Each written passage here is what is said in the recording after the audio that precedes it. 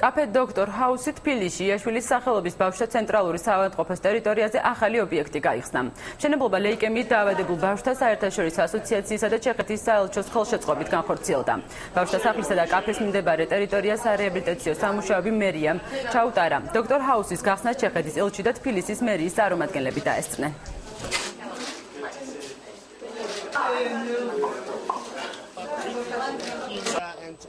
მოხარული ვარ რომ დღეს ამ ღონისძიებას ვესწრები. წლების განმავლობაში ჩვენი და რამდენიმე სხვა ქვეყნის საერთოს მიერ ხორციელდებოდა მსგავსი სოციალური პროექტების დაფინანსება.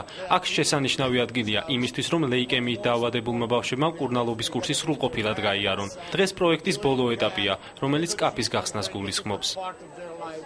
ლეიკემიით დაავადებულ ბავშვთა შობელთათვის, აი ამ სახლის გახსნის დღიდან მე მონაწილეობს ამ პროექტებში.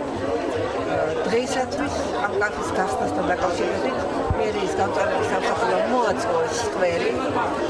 კეთილ მოაწყო თვითონ მისასვლელები და კაფენერები, რაც კეთილმოწყობა ძალიან მნიშვნელოვანია ასეთი ტიპის საკონმოქმედო დაწესებულებისთვის და ჩვენ ყველას მზად ვართ, რომ მომავალში თვითანამშრომლობ და რაც კი საჭირო იქნება ამ საქმისთვის, ყველაფერი გავაკეთოთ, რაც კი ჩვენს